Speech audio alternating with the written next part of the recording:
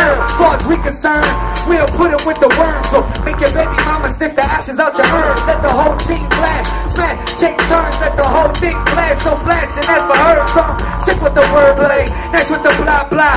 Since we used to move bricks, so baby powder. Back on the scene like I'm reading the script. Driving through the block slow like my seat in the whip. What's the meaning of this rap shit? The meaning is this. Money, hoes, cash clothes, good weed in the fifth. What's today's mathematics? Show them the automatic, get your heart